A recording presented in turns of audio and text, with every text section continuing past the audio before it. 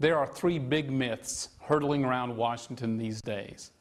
No jobs equal an economic recovery, government run health care will make it more affordable, and deficits don't matter.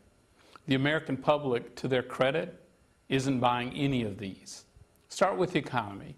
We're all pleased to see the stock market go up, but middle class America knows hundreds of thousands of jobs are disappearing each month. Many of them may never reappear. As families in my communities and across the country watch the national unemployment rate close to topping double digits, with very few real signs of relief ahead, they have one question for the White House.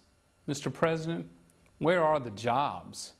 Last January, the White House promised us all that if Congress passed the massive trillion dollar stimulus bill, jobs would be created immediately and the unemployment rate would stay under 8%. Well, since then, nearly 3 million more Americans have lost their private sector jobs.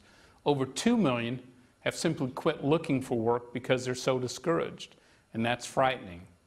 And over 9 million Americans are working part time because they can't find a full time job. And those who do worry if they'll be the next person standing in the unemployment line.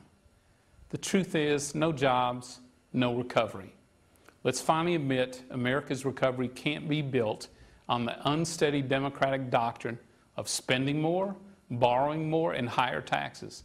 It's failing our families.